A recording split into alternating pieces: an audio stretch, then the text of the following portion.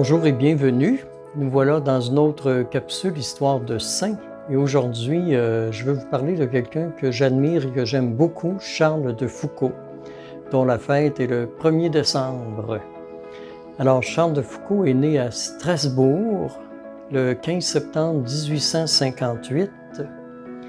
Ses parents sont un couple très amoureux, un couple édifiant, impressionnant.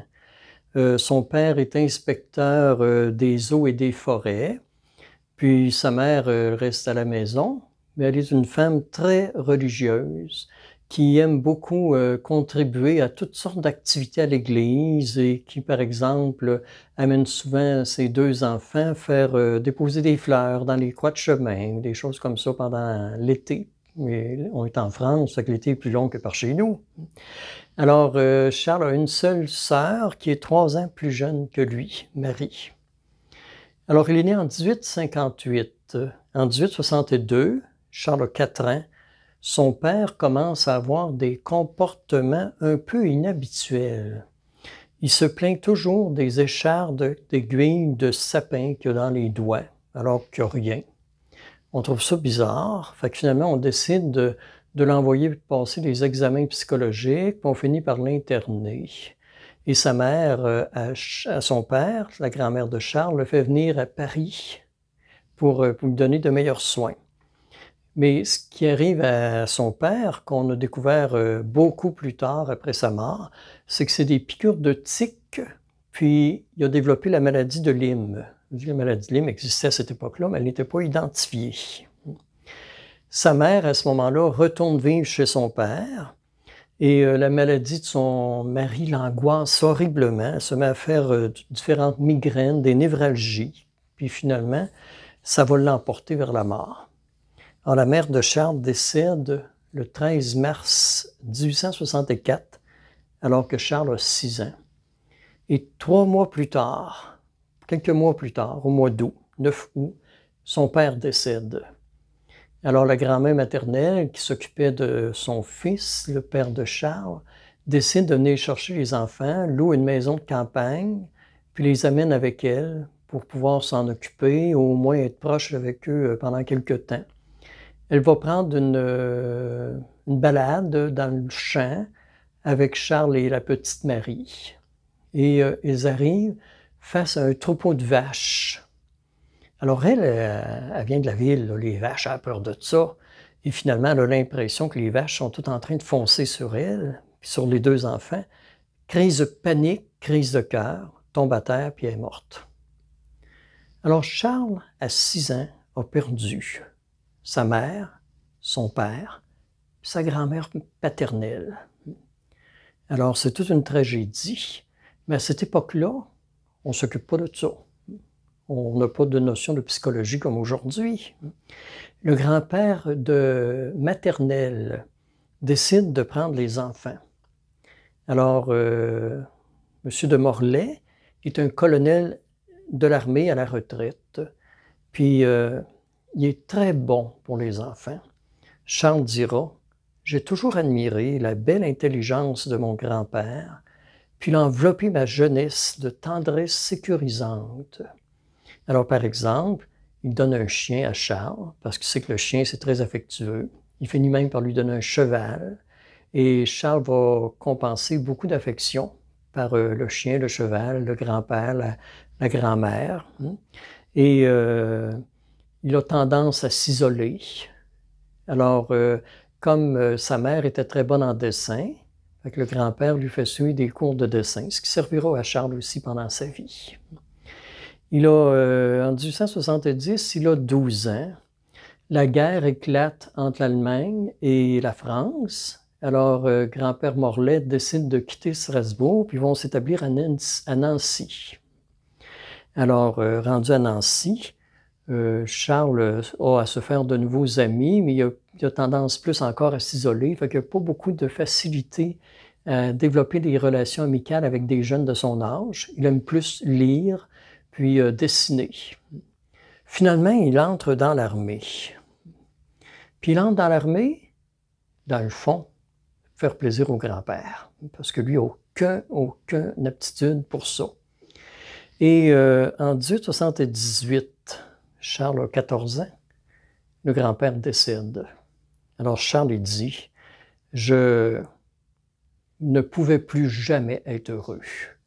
C'est mon grand-père qui m'a sauvé la vie. Et là, sans grand-père, je ne peux plus rien faire de ma vie. Alors il rentre dans une espèce de dépression qui fera que Charles deviendra un peu insouciant puis téméraire. On y reviendra tantôt.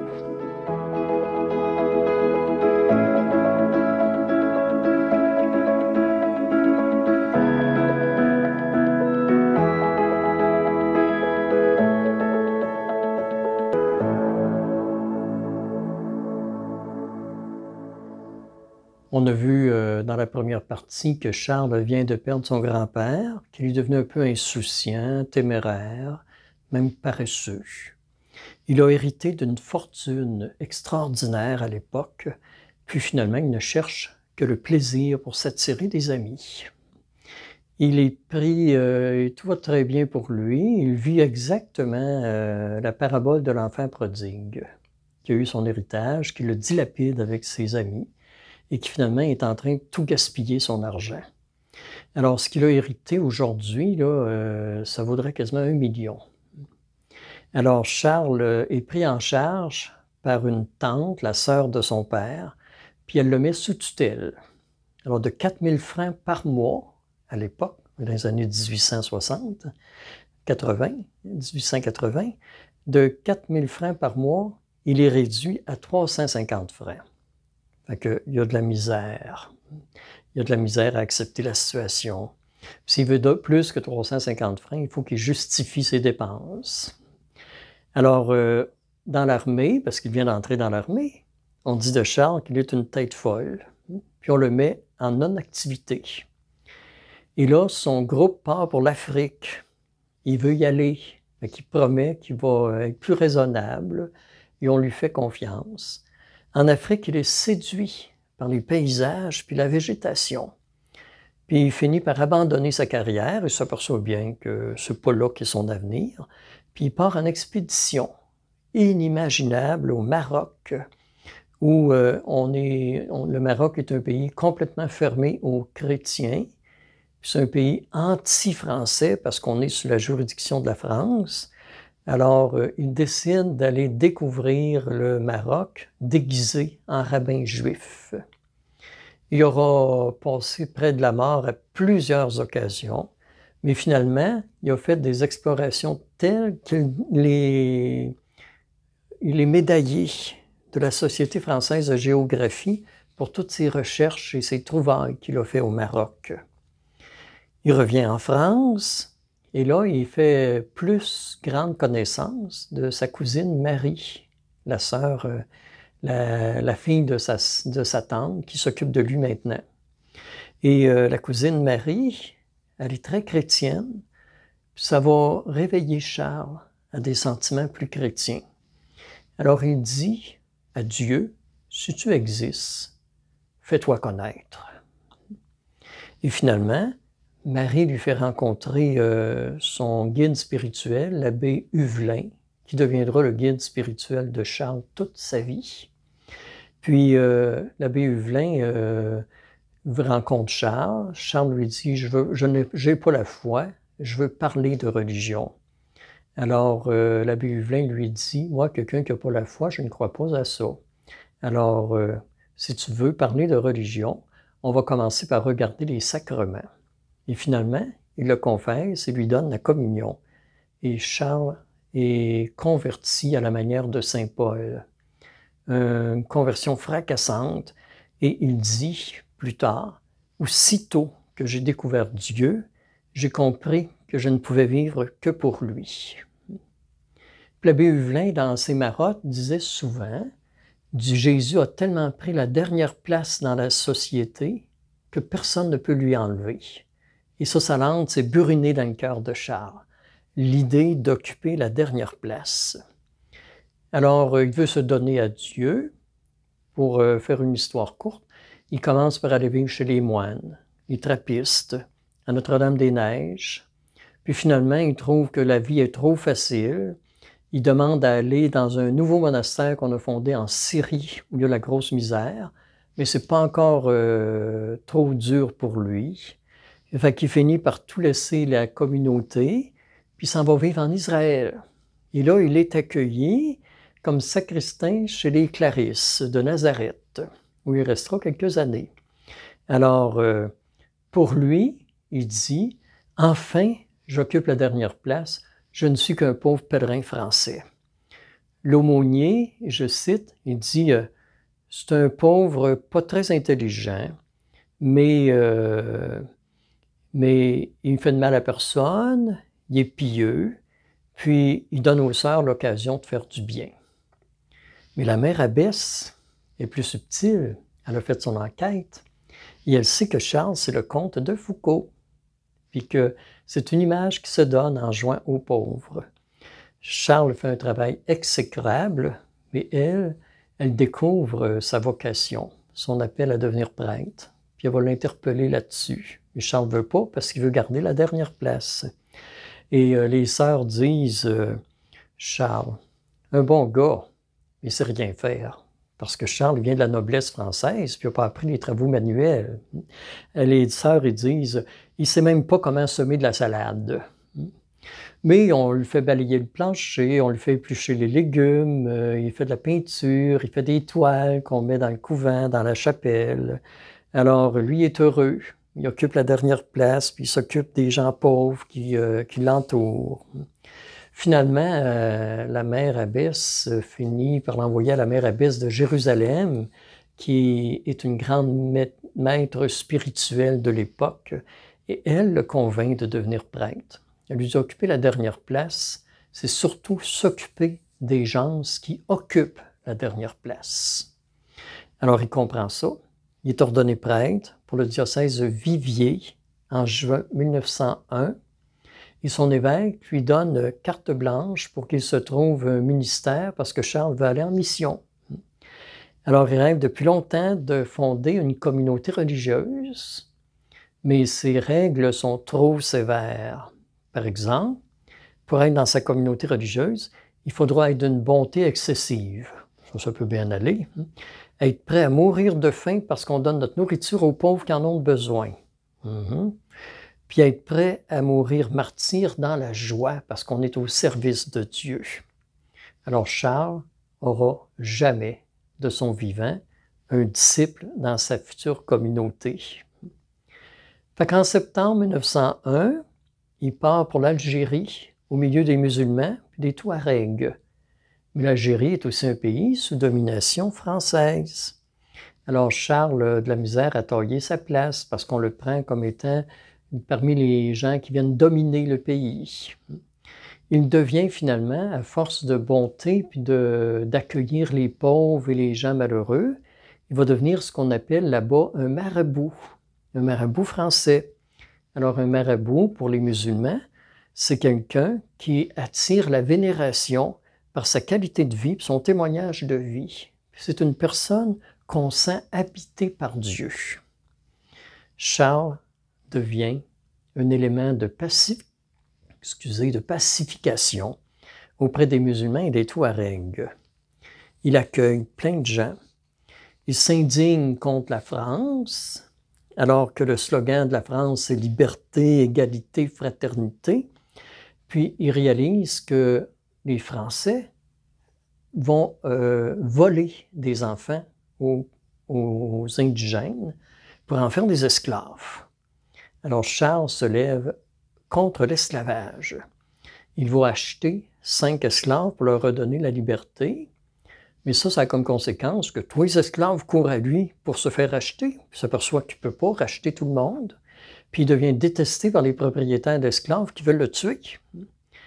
Alors, c'est là aussi qu'il prend conscience que d'autres misères que juste l'esclavage à soulager. Il y a les infirmes, les vieillards, les itinérants les voyageurs sans papier ni domicile fixe.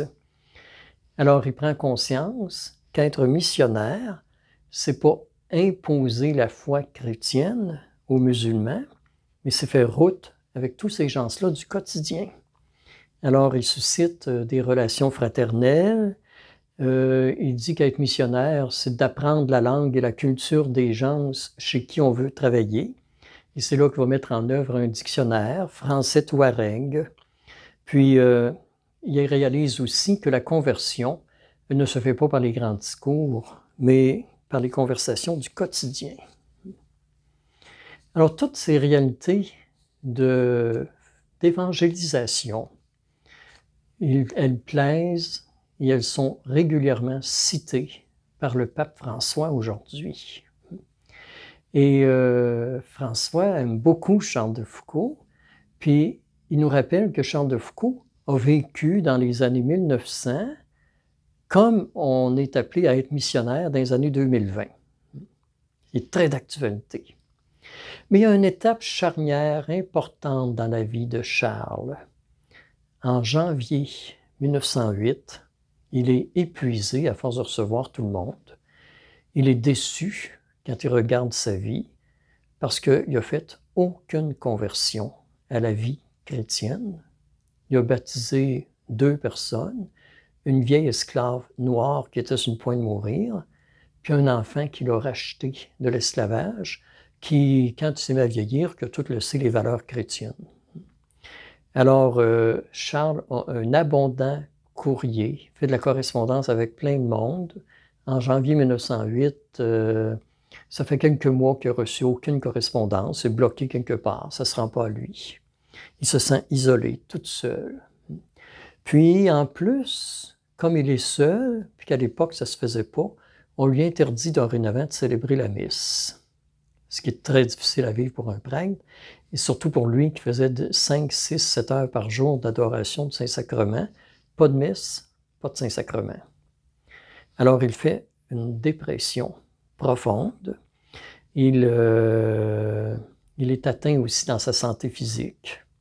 Et ce sont les pauvres qu'il a continuellement aidés, qui malgré la famine, malgré l'absence de pluie depuis 17 mois, vont venir lui donner du lait de leur chèvre pour euh, lui permettre de refaire sa santé.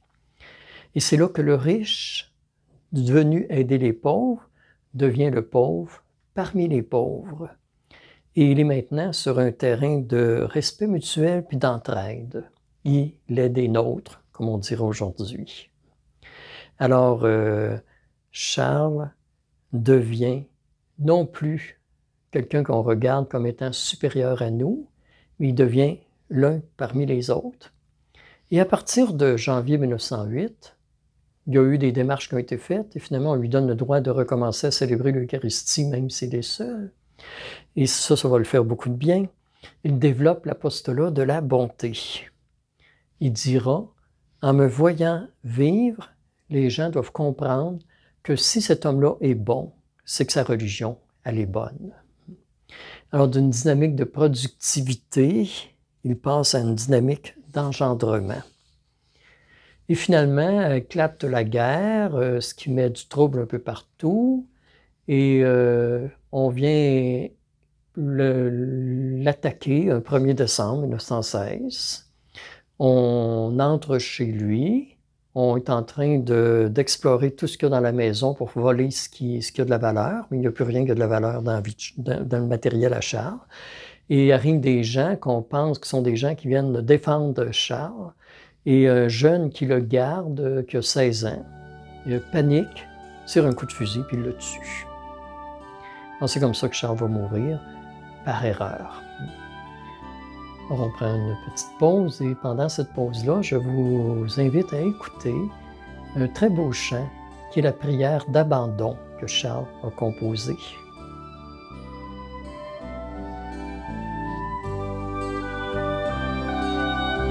Mon Père, je m'abandonne à toi.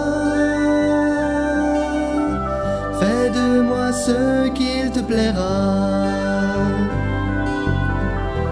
quoi que tu fasses de moi. Je te remercie. Je suis prêt à tout, j'accepte tout. Pourvu que ta volonté se fasse en moi. et en toutes tes créatures. Je ne désire rien d'autre, mon Dieu, mon Père,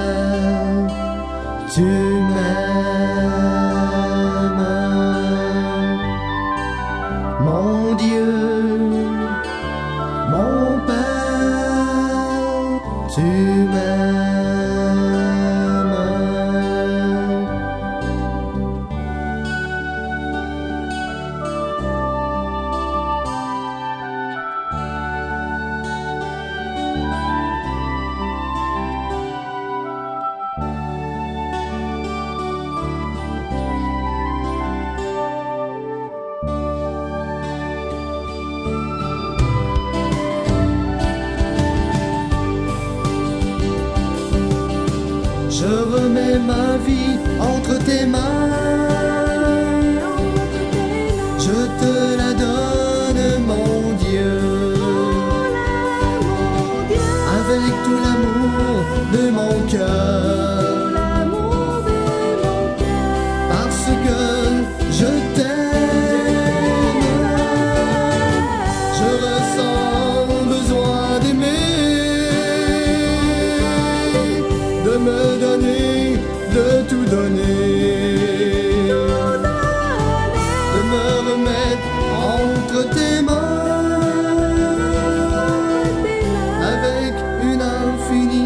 Confiance. Car tu es mon Père,